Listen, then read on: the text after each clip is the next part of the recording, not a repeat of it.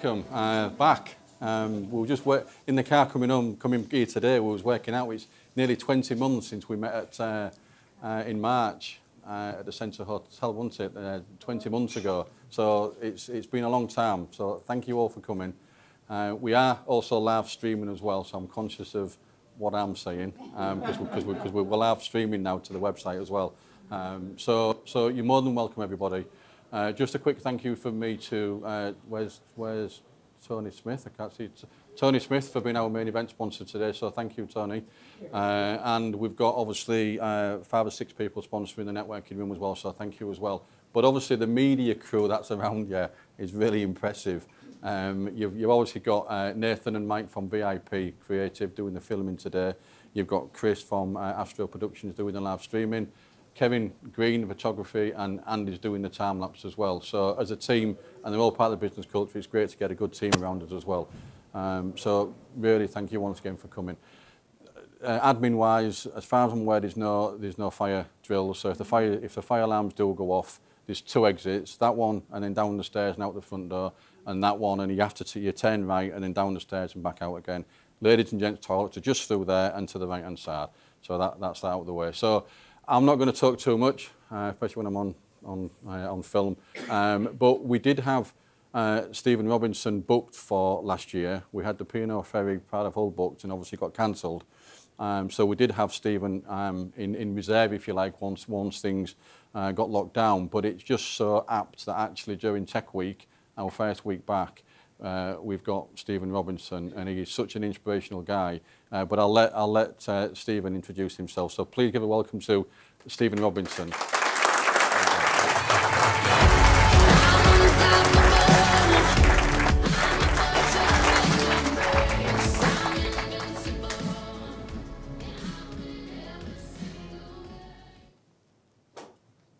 Have you reached that point in your life when you realise that anything is possible? Or is that just another cliche? It might be. It's been said many times before. But what I believe, truly believe, is that each and every one of you is capable of achieving far more than you think is possible for you. Now, during the next 45 minutes, I'd like to help you realise that by sharing with you my journey of discovery. A journey that started here in an area of Leeds locally known as Buggy Park. And not because it was a beautiful greenfield park, as you can see, but it was a slum housing estate where all the houses were infested with bugs, cockroaches, woodlice, and a nasty little insect called a silverfish that created havoc on your respiratory system. Now, during the 1960s was a programme of slum clearances, and Buggy Park was razed to the ground, and the land was incinerated to eradicate the bug infestation and we were moved out into the Scott Hall estate of Leeds. But in the 1960s, the Scott Hall estate was a rough council estate, but it was 10 times better than where we just left. This is me and my sister Tracy. When I get back to it, let's see if it goes backwards. There we are. This is me and my sister Tracy. This is one of those photographs, by the way, that really embarrasses me but I love it for that reason. But I wish I'd pulled my fly up and buttoned my shirt. Actually, I couldn't because the zip in my trousers didn't work and I had no buttons on my shirt. And every day, my mum would cut out cardboard insoles for my shoes to stop my feet from falling through the holes in the bottom. We were super poor. In fact, you don't see poverty like that today, do you? But despite being super poor, we were happy children. And we were happy children because we had mum and to me and Tracy, our mum was a rock. But to Dad, she was something else. She was a punch bag. Now, mum realised she had to end that cycle of violence. Otherwise, I would grow up expecting it was normal to beat my wife, and my sister would grow up expecting it was normal to be beaten by her husband. And domestic violence isn't normal and shouldn't be tolerated. So, mum did the best thing she could do for me and Tracy, and she left dad when I was four. In fact, I remember saying to my mum one day, Mum, you don't cry anymore. I didn't realise it's because Dad wasn't there to beat her. But now Dad had gone, we were a happy little family unit, just me, Tracy, and Mum. Except for one thing. I hated school. And I hated school with a vengeance. And I hated school for good reason. because I was bullied throughout my school life. I was bullied at primary school because I was from a single parent family. And back in the 1960s, that meant something. Today, it means nothing. I was bullied at middle school because I used to get free school meals, which made me stand out from all the other boys and girls, which made me a target. But it got worse when I went to high school because I started with acne. This is one of the only photographs I have at that time. After this, I didn't want photographs taken anymore because my acne got so bad. Actually, I wasn't that bad looking, really, was I? I'm not a bad looking kid. In fact, I remember going to the doctor's surgery with my mum one day, and people got up and walked out complaining to my mum she shouldn't have brought an infectious child into a public area. I wasn't infectious, but I did look it. Girls didn't see me at school. I was invisible to them. The only people that saw me were the bullies. And I was beaten up on a daily basis. School was hell. It was torture. It was so bad, I only attended two days out of five. And that wasn't official mind. And on one of my days off, I had to go on a friend's motorbike and it was brilliant. I loved it. I thought, wow, I, want it. And my mate said, You can buy this motorbike if you want, Steve. I want £10 for it. £10, I said. £10 is like a million pounds to me. I've got no money. I've got nothing of any value. Except I did have one thing. I had an Instamatic camera. Does anybody remember them? They were great, weren't they? They're like the predecessor to the digital camera. You'd take a photograph, you'd pull the film out of the back, you'd wave it around, and you'd watch it develop in front of your eyes. They were brilliant. In actual fact, I was in a camera shop just last week, and they're all the rage again. We've gone full circle. It's like the circle of life, isn't it? To this day, I'm not sure where I got that camera from. I think my auntie gave me it. But I managed to sell that camera to my mate's sister for five pounds. I thought I'm halfway there. I thought I'm having that motorbike. Nothing's going to stop me getting it. I'll do whatever it takes. So I went out and I washed people's cars. And I hated washing cars. And I went out and I did gardening. And I hated gardening. In that respect, I was a typical teenager. I pretty much hated everything. But I pulled out all the stops and I got that £10 and I bought that motorbike. Isn't it amazing how we can pull out all the stops when we really have to? Sometimes in life, we have to do the things we don't like to get the things we want. This was my motorbike. I was brilliant on that motorbike. I could go up and down the steepest of hills. I could get over any obstacle and I could pull the best wheelies. Finally, there was something I was good at and something I had to look forward to at the end of the day. It didn't matter that girls didn't see me at school because I had a motorbike. And for me, that was enough. And on one of my days out on my motorbike, and not an official day out, I met this young kid called Michael Ty. He was 12 and I was 13. And he had a motorbike too. And he was good in it. And he could do the same sort of things that I could do and he could keep up with me. And together, we'd go out and have these wonderful wonderful adventures. I lived for those adventures. But there was another kid that wanted to join us on his motorbike too. Only thing is, he wasn't a kid. He was a 30 year old man that wanted to join me, the 13 year old, and my mate Michael, the 12 year old. But this 30 year old man couldn't do the things that we could do, and he couldn't keep up with us. And frankly, he was dangerous.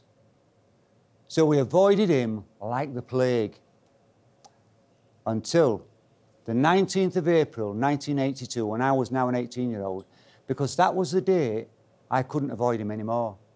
Because that was the day he thought he could do a daredevil type stunt on his motorbike, jump over the top of me and my motorbike from a blind hill without me even knowing he was there. But he didn't have the ability he thought he had, and he couldn't make the jump. And instead, he landed on top of me. His foot peg ripped my arm off there and then, it landed 100 metres away from me. His motorbike then went into my chest, collapsed and punctured both my lungs, ruptured my liver, ruptured my gallbladder, ruptured my spleen, fractured my pelvis, and broke my leg. In fact, you could say I was in a bad way. but it was worse than that. I died three times on the operating table. I remember opening my eyes and looking up, and there was an angel looking down on me. That angel was called Janet, by the way, and she was a staff nurse at Ward 16 at the Leeds General Infirmary. But she truly was an angel. She was absolutely drop dead gorgeous. She had beautiful, long blonde hair, the most perfect complexion I'd ever seen, and piercing blue eyes that looked right into my soul. And she said in a soft and gentle voice, Steven, you've had an accident on your motorbike, you're in hospital, but you've lost your right arm. Five minutes later, she come back and she says, Steve, you're in the LGI in hospital, you've had an accident on your motorbike, you're going to be okay, but you've lost your right arm. Five minutes later, and every five minutes, she'd walk past and she'd say, Steve, you do know where you are, don't you? You do know you're in hospital, don't you, Steve? And you do know you've lost your right arm, don't you? Rubbish, I thought, lost my right arm. What are they talking about? I could still feel it. I can still feel it now. I didn't know back then there was this thing called phantom limb syndrome, where those people that have lost a limb can still feel that missing limb. But the more I thought about it, the more I realised I knew a lot of people that were suffering from something very similar. Phantom barriers. Barriers that were stopping people doing the things that they wanted to do. Barriers that were stopping people achieving the things that they really wanted to achieve in life. Barriers that feel real, but just like my right arm, aren't really there. Now, a lot of us have phantom barriers, not everybody, but a lot of us do. The first step to conquering them is to recognize them. Now, Janet did everything for me, the most personal of care, and I'm a spotty, ugly, insecure little boy. And here was this beautiful young woman doing all my personal care. And I was humbled by that experience. Not only that, she gave a mean bed bath. you know, I've thought about that a lot of times. I was an 18 year old and a hormonal one at that. I think I fell in love for the first time in my life on Ward 16 with an angel. Now, everybody on Ward 16 was bedbound. So if you wanted to use a toilet, you had to use a commode. There was no option. But one day I said to Janet, Oh, Janet, please, will you take me to a proper toilet? Janet said, OK, I will, Steve, but when you've finished, give me a shout so I can come and clean you up. I couldn't do a thing for myself. Janet! Janet, I've finished! So Janet came to clean me up and then she took me to the wash basin to wash my hands. But Janet had forgotten there was a mirror in the bathroom. And mirrors weren't allowed on Ward 16, and they weren't allowed for good reason, because everybody was mutilated and disfigured. But Janet had taken me to the staff toilets, and she'd forgotten there was a mirror in the bathroom. And that's when I saw it for the first time. I couldn't believe my eyes.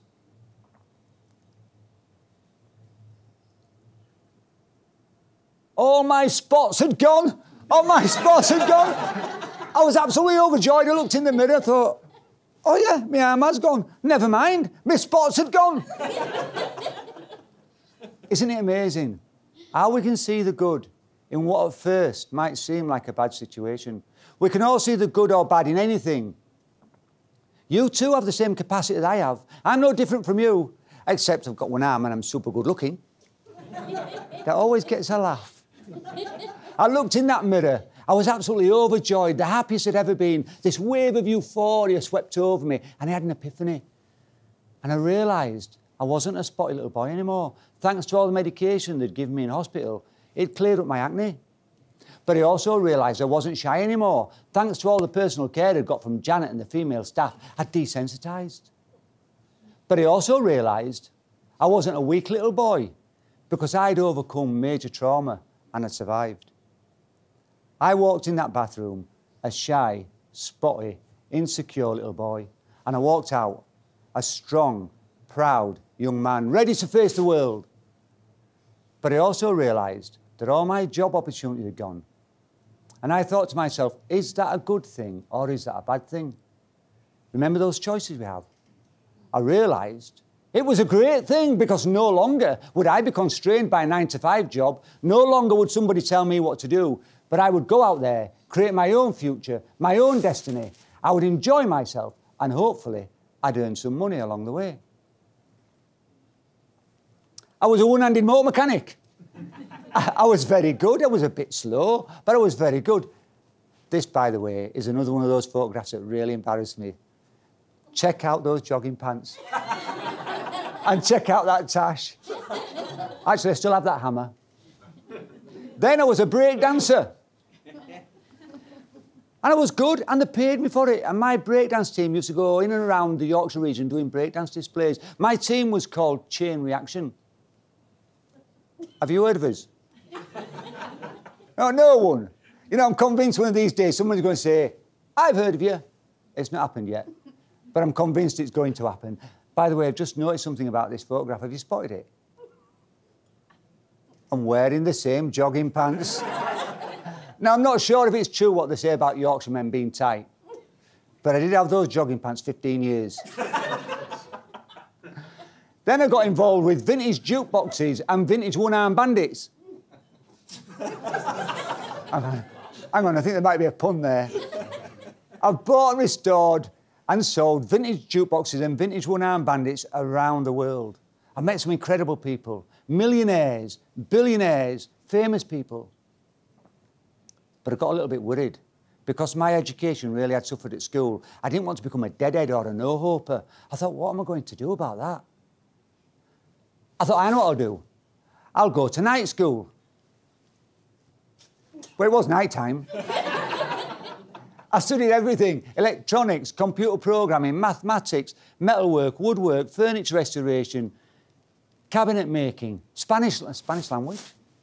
You name it, I studied it. Rosie speaks Spanish. That's why I just pointed at, you know, we got that knowing look. We both speak Spanish. You name it, I studied it until eventually I'd exhausted all the evening classes. I thought, what am I going to do now? I thought, I know what to do. I'll go to university. But I've got no qualifications from school. No O levels, no GCSEs, no CSEs, no A levels, no AS levels, nothing. But I've got a first class honours degree in computer science from Leeds Metropolitan University. The first in my family to ever attend university. I didn't even start until the age of 35, and I didn't graduate until the age of 40. You're never too old to learn. Or the phrase I prefer is it's never too late to re educate. But for my final year project, I had to create a piece of software. And I thought, well, what do I know about? Well, I thought, well, I know a lot about jukeboxes. So I created a piece of software for a digital touchscreen MP3 playing jukebox. But I went one step further. Because I knew about electronics, I created the hardware to software interfacing. Because I knew about cabinet making, metalwork, woodwork, I created a cabinet. And I created a complete jukebox. And I took that jukebox into university. This is my jukebox. After university, I went on to further develop this system and launch my company, Robinson's Jukeboxes Limited. During the first eight months of trading, I sold 400 jukeboxes. Get in there. I created a million pound product single handed. Hang on. Hang on, okay, I'm going to give you that one. That definitely is a pun. I had so much money coming in, I didn't know what to do with it. At one point, at one point, I had a cheque in my hand for £100,000 from one sale of 40 jukeboxes. Me, the kid who walked to school with holes in his shoes. What do you think I called my jukebox? I called it the Silverfish. Everybody wanted my jukebox because it outperformed its nearest competitor at a fraction of the cost. But so much money was coming in, I just didn't know what to do with it. I mean, what do you do with money when you've never had it and suddenly you're given it? What do you do with it? You spend it, don't you? But I thought, well, what am I going to spend my money on? I thought, I know what I'll do. I'll buy my next door neighbour's house. So I did. But I didn't want to live there because I already had somewhere to live. So I rented it out. And I got £600 a month for it. And I thought, whoa, I like that. I thought, I'll have some of that. So I bought another one. And I bought another one. And I bought another one. If I keep going, I'm going to upset on your knee, aren't I? Actually, I quite like the sound of that. Can we, can we talk later? Sorry, I, I got distracted. How many houses was that? Was it three or was it four? Four. Four. I now own 10 houses. I'm a residential landlord. I still manufacture digital jukeboxes. I still restore vintage jukeboxes and vintage one-arm bandits. My digital jukebox was so successful, everybody wanted it, including a multinational amusement machine manufacturing company in the northeast of England. Only thing is, they didn't want to pay for it. So they got one of my jukeboxes and they copied it. And they circumvented the system security which destabilised the software. They used inferior electronics to create a substandard version of my product. That substandard version damaged my product's reputation. Not only that, they priced me out of the market with my own machine. I had no option but to sue for copyright infringement and I started litigation against them. Litigation lasted six years. This is my house. I had to have bars fitted at the doors and windows because every day, without fail, I would receive death threats. If I didn't drop my case against a multimillionaire owner of the amusement machine manufacturing company, they'd slit my throat. Every week, without fail, there'd be thugs trying to kick my door down to get to me. But I've been bullied before. And I won't ever be bullied again. So I decided to fight back. Now, what the multimillionaire owner of the amusement machine manufacturing company thought was I didn't have the financial clout to fight him in a court of law. What he didn't know is I had intellectual property insurance and that my legal expenses were being underwritten by the might and power of Hiscox insurers. I wish I'd seen his face when he found out. I bet it, I bet it was a picture. Anybody here work for Hiscox? Bless you, Hiscox. On the 19th of April, do you recognise this date? 2012, 30 years to the very date that I'd lost my right arm, I won my court case. I thought it's an omen. Everything's going to be okay. Sometimes all we need is a little sign to give us the confidence to continue. Now, I dealt with my bully demons, but I had some other demons. I had some irrational fears. Anybody else here have any irrational fears? What have you got? Go on, you've got to tell us.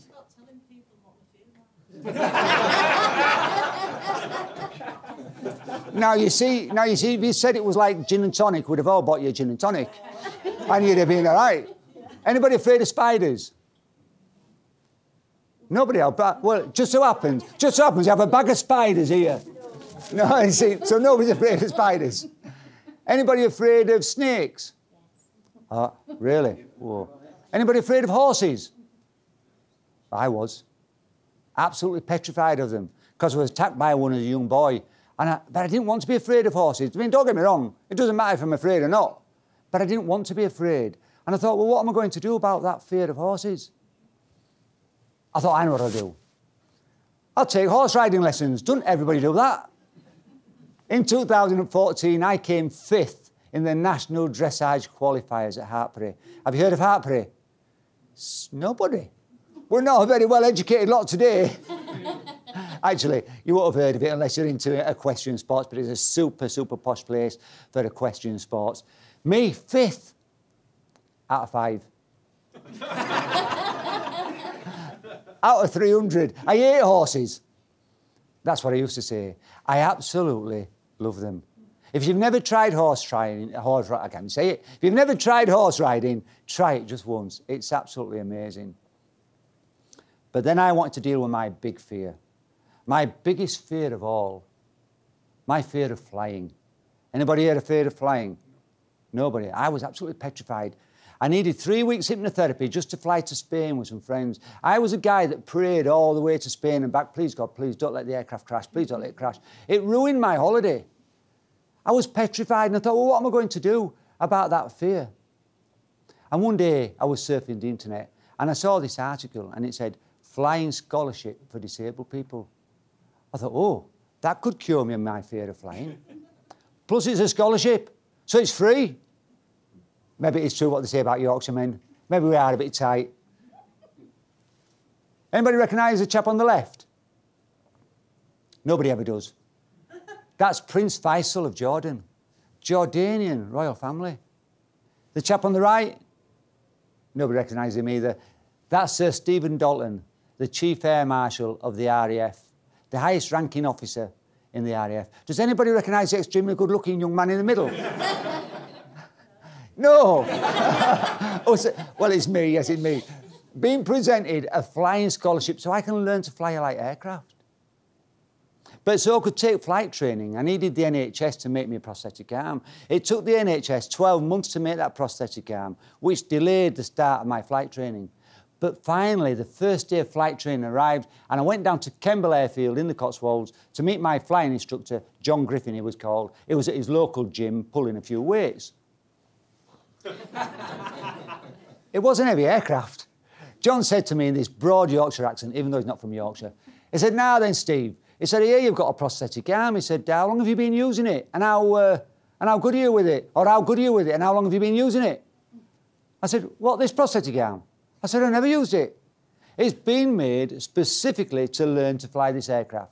Oh, says John, but you've used a prosthetic arm before, haven't you? I said, no, never. Oh, in that case, let's go for a flight and see what happens. you know, I didn't think that was a good idea, but teacher knows best. So there we were at three and a half thousand feet. And John said to me, Steve, I want you to, I'm going to give you some commands. I want you to listen to me. And so I know you've understood them. I want you to repeat those commands back to me, and then I want you to do what I said. I said, right, yeah, okay, got it. He said, right, he said, you have control. I said, oh, I have control. He said, right, let go with your left arm. I want you to fly this aircraft with your prosthetic arm only.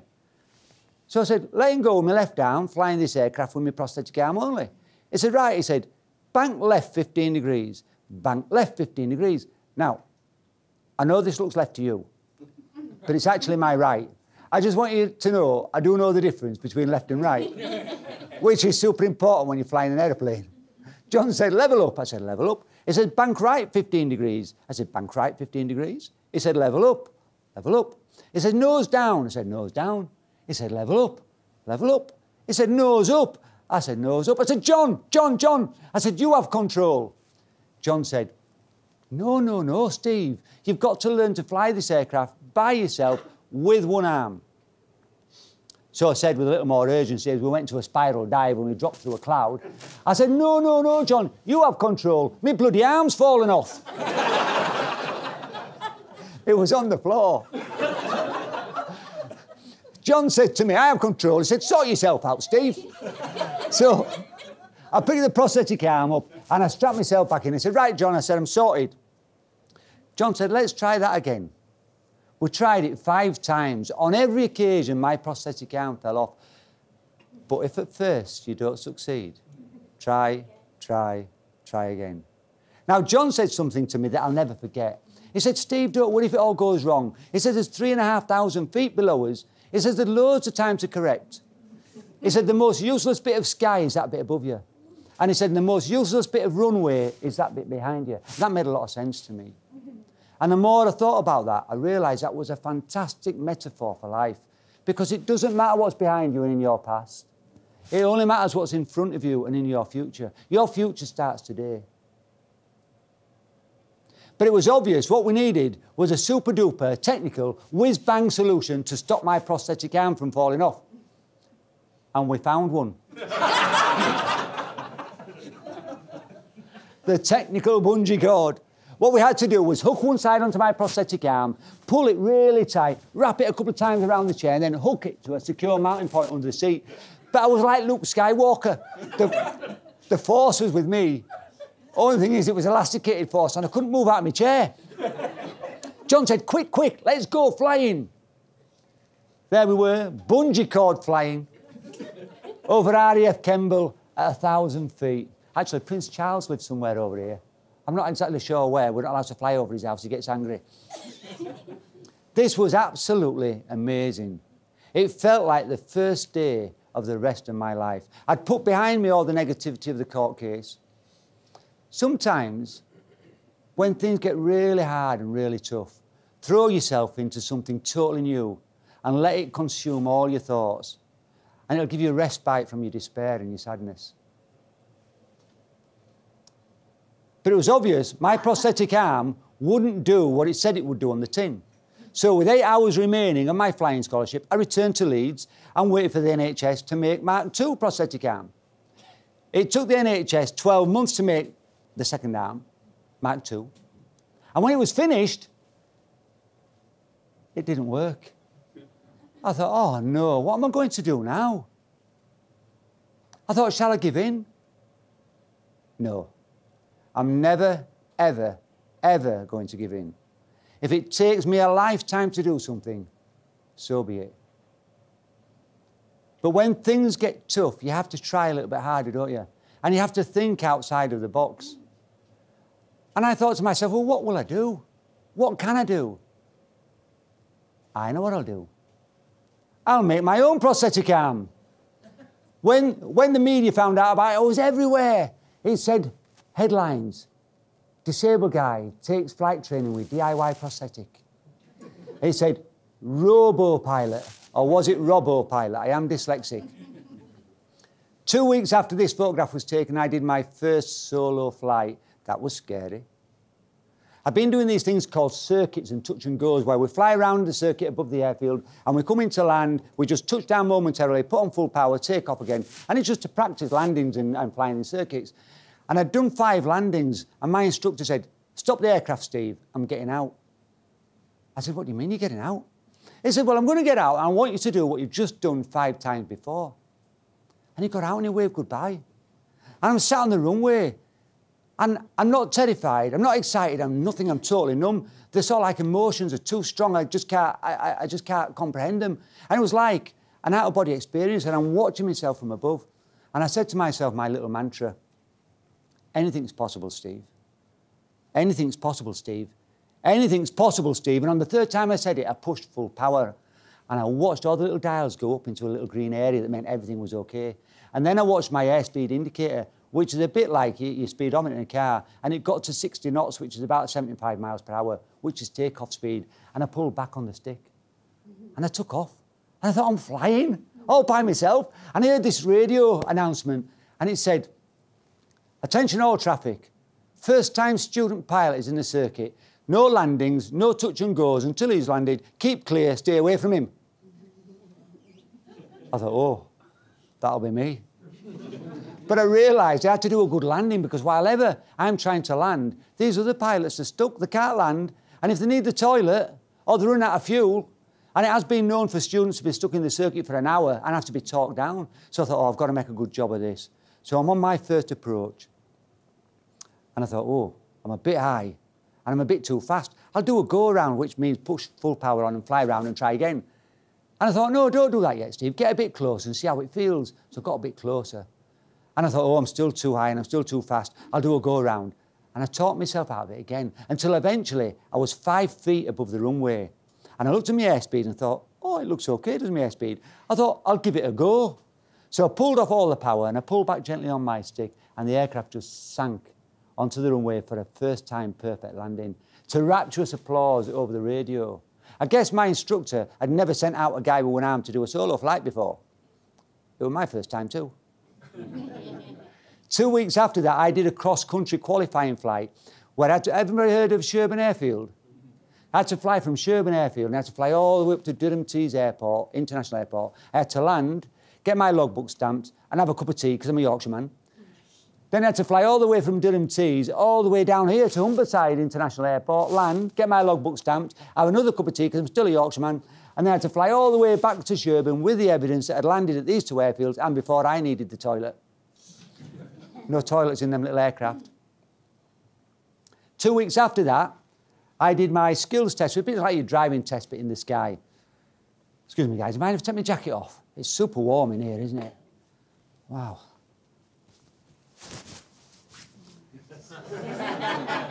I'm not. Did you not? Did you not know? Well, did you? Didn't, I can't say it. Did you not know that was coming? you didn't. I'm not warm. Yes, I am a fully qualified private pilot. This is the aircraft I fly. It's called a Robin 2160. It's a two-seater aerobatics aircraft. I don't do aerobatics. Not yet. Actually, that's something I used to say. Remind me to tell you something before I play out with a video. Then all the awards came in. I was awarded the Douglas Bader Memorial Trophy for my outstanding contribution to disabled pilots. If you don't know who Douglas Bader is, I'm going to tell you because maybe you will, maybe you won't. But it was a Second World War Spitfire ace and he had no legs. I'm super proud of that. Do you recognise the chap on the left this time? Prince Faisal. What about the guy on the right? It's not Steve Martin, the American comedian, but he looks like him, doesn't he? Dead ringer. That's Sir Stephen Pulford, Chief Air Marshal of the RAF. And the exceptionally good-looking young man in the middle is me. Why have I got a stupid expression on my face? I was fighting back tears. I really didn't expect that. I'm super proud of that, as I am of this, to be awarded the Yorkshire Inspirational Individual of the Year by the, the people of Yorkshire. I'm super proud of that. But the one I'm most proud of is this one. This is the British Empire Medal, uh, awarded to me by Her Majesty the Queen. The Queen knows my name. Well, I know hers. Did anybody see me on the One Show? No one. They told me four million people were watching. nobody ever puts nobody ever puts their hand in there and says, "Yeah, we saw you." And with the comedians, they, actually they weren't very funny. actually, they were. My book's out. Do you like the title? That took a lot of thinking about, and it shouldn't do. It should have been dead obvious, shouldn't it? I've got some books with me, so if anybody wants a signed copy, come and see me after. Before I play out with a quick video, I want to leave you with these few thoughts. Opportunities are everywhere. What will happen if you don't take them? Nothing. So why not take them and enjoy the journey and see where you end up? How did I get that flying scholarship? I asked. I know it might be a cliche, but if you don't ask, you don't get. And you don't get because they don't know you want it in the first place. I'm not going to get a cup of tea after this talk, am I? Because nobody knows I want one. The fact is that now I've mentioned it, there'll probably be a cup of tea waiting for me when I'm finished. How did I overcome my fears? By using a proven psychotherapy methodology known as exposure therapy. Where if you're afraid of doing something, do it just a little bit one day, and do it just a little bit the next, and a little bit the next. And before you know, you won't be afraid anymore. If I can do all these things, and I've done much more, with one arm, just imagine what you're capable of achieving with two. Now, remember I told you I don't do aerobatics? That's sort of changed. I was approached by the Davina McCall show, this time next year it was called. And she said to me, Steve, will you make a pledge for our TV programme? I said, yeah, sure, of course will. What do you want me to do? Ride round the field on my horse and jump over some little obstacles? she said, no. I said, do you want me to fly out and land at five airports in five hours? No, she said, we want you to do aerobatics. I said, no way. No way. I said, you're having a laugh. I said, I don't like aerobatics. They really, really scare me. I said, we call them scareabatics. she said to me, aren't you a motivational speaker who goes talking around the world, telling people how anything is possible? I said, yeah. She says, don't you tell people how you can overcome any fear by using a proven psychotherapy methodology known as exposure therapy? By which point I realised I'd backed myself into a corner. and I had to say, yes, I'll do it. But I didn't want to do it. Check out my flying instructor. He looked scared to death.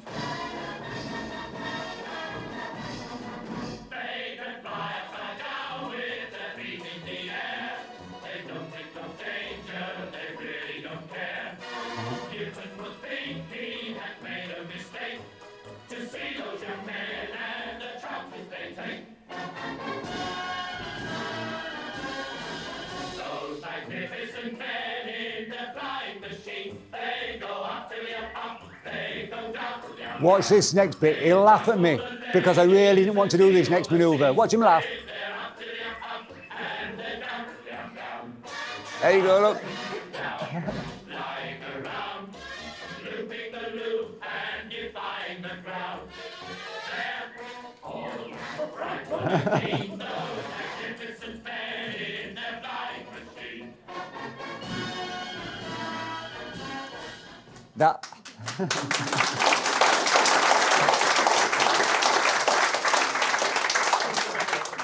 that last bit really scared me. It really did. It's called a spin. What you've got to do is fly your aircraft so slow that it nearly loses control. And then you pull back on the stick and push full rudder, and the whole thing just collapses. And the, if you're from the ground watching it, it's just dropping out of the sky. It's just spinning around, and you, you feel it in no control whatsoever. But it's dead easy. You just do opposite rudder, stick forwards, and you're out. And it's really, it's really brilliant, really brilliant. And I can't believe I turned that fear into a passion and something I enjoy doing. You see, you can't let your fears control you. You have to control them. Have you reached that point in your life when you realise that anything is possible? Or is that just another cliche? It might be. But what I believe and truly believe is that each and every one of you is capable of achieving far more than you think is possible for you. I'm Stephen Robinson, motivational speaker, one arm pilot, and author of No Arm in Trying. Thank you for listening.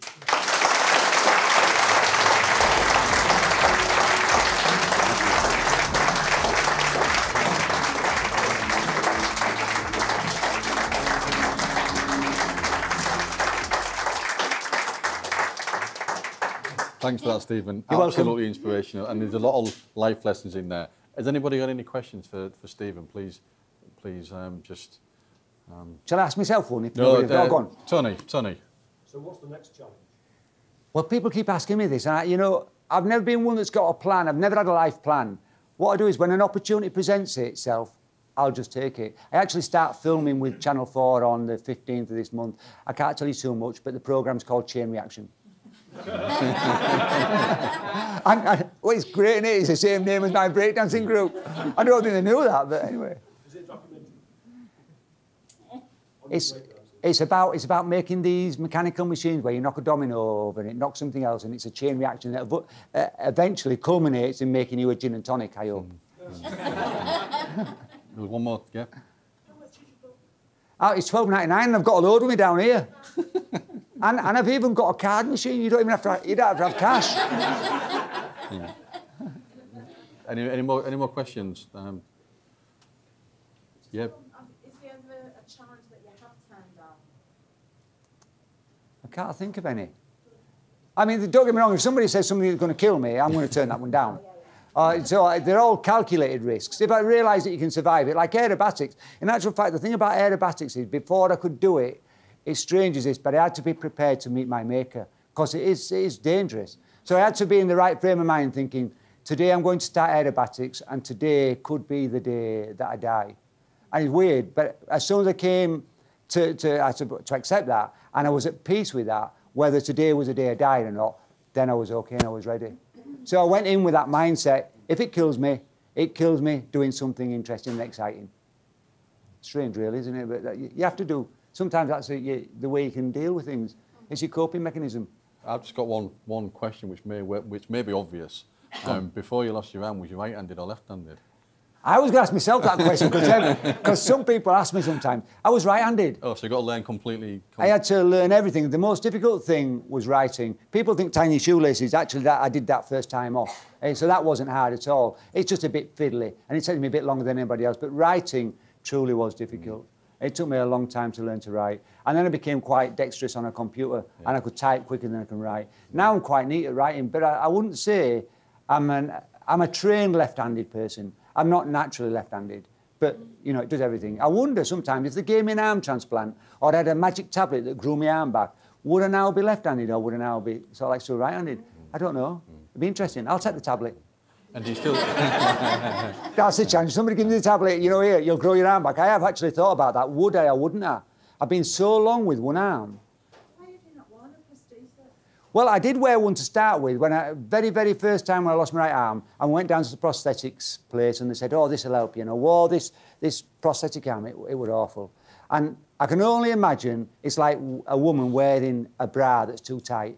It would cut him in two. It was dreadful, and it was big straps across here, straps down there. I couldn't move, and there's this lump of plastic dangling from me that did nothing at all. And now I couldn't get dressed because how do you control this? While you try to get a jumper on, it It was so difficult that I walked home from the hospital with it on. And when I got home, I took it off and threw it in the cupboard. I've never worn it since. It's strange, isn't it? In fact, I took it back and said, here, melt this down, use it again. But I feel comfortable like this. I feel just the way I always felt. I feel the same as I have two arms because I can feel it. So it feels like I'm there. I, it feels like it's there. I just look different to you. I don't look or feel any different to me. I still dream with two arms. Yeah, I've never had a dream with one arm ever. That's weird, isn't it? Yeah, yeah. Really weird. And what other, what other tech do you use? Uh, do, do- and do you need tech to sort of within your life, or have you just learnt simply to? I noticed how you just brought us in there. You just, you just sucked into the tech But, well, yeah, I, I I've, got love to, I've tech. got to mention tech with Tech Week, can I? No, I do. I, yeah, I love yeah. tech. I, I like all sorts of technology. And yeah, I'm a bit of a techie. But what do I use? I use ma- mainly, if I'm using tech, I'm using a lot of 3D printing. So I'm designing tools that you can't buy, that, you know, if you want a one-handed tool and it doesn't exist, then I'm designing stuff, making tools, and I'll go and 3D print them. Uh, I, 3D printing is absolutely amazing. Mm. And with the jukeboxes and the slot machines, I'll make parts. But you can do anything with 3D printer. You can make the parts and you can cast them in sand and put and cast them in aluminium, whatever. It's, it's, it's amazing. Yeah, so I do. I'm hoping there's some 3D printers here. Oh, I won't mind a robot. I'll have a robot right arm. I've quite. I've seen the dog. I've seen the dog downstairs. Yeah, I've seen the dog. I might ask him to develop one of the dog's arms and strap it on here. See what happens. Anybody got any other questions for, for Stephen um, before we break off? No? Um, well, I was, yeah, Hi, Sorry, Yeah. just one. yeah. Do you think you have to have sense of inquisitiveness or wanting you to do something to make this work? Do you think that's what holds people, that's what holds people? Uh, I- Sometimes there, there can be tangible reasons or intangible reasons. It could be the mortgage or fear of. I think you've got to be were- inquisitive. You were almost forced maybe slightly, if I could put it like that, down that route. Do you think you would have went down that? Was that inherent? I don't know. I trained to be a motor mechanic, which is why I, I worked as a motor mechanic to start with. And I was in my final term of a two-year course. And my grades were great at, at college for being a motor mechanic. I was a top mechanic. And I had jobs lined up in the Formula One pits and I had loads of brilliant jobs lined up, but they just went by the by. So I, I tried to do the motor mechanic in, but I suppose I had an inquisitive mind always. Even as a child, I was stripping things down. I didn't often put them back together, but I wanted to know how they work. And I was always inquisitive. And I liked problem solving. And I guess what happened is once I'd lost a right arm, everything became a problem that needed solving. Like, say, tying shoelaces or putting a watch on. I mean, how do you do it one handed? Well, it's dead easy, really. I have to pull that with my teeth or I just slip it off. Look, it slip it. Might take me a while. And I think, well, it's not as easy as you guys are doing it, you know, but it's off. You know, it's off. I mean, it's a bit, you've got to learn patience. I suppose on one hand, you've got to learn how to be patient and you've got to learn how to be a problem solver. And if you like both of those, if you like problem solving, then you'll cope with anything. Because everything is just a problem, isn't it? How do you get your mortgage? Well, it's a problem. Let me think about it. And you, you, your favourite thinking about it longer and taking less action rather than running around taking loads and loads of action. Think about it first. So I noticed that, that I had to just think about a lot of things before I, I started to do stuff. But yeah, it really helped my inquisitive mind. I, I've, to be honest with you, I've quite enjoyed having one arm. I mean, it sounds weird, doesn't it? But I've quite enjoyed it because it led me down paths I would have never gone down. Yeah, yeah. Um, Stephen, have you ever met anybody who, any of your, the people that bullied you in your years, since you've been, obviously you talk a lot and you- you're well known now, and I just wonder if any, any of your bullies has come up to you, It's strange, isn't it? I don't, they don't, they don't realise that they were bullies.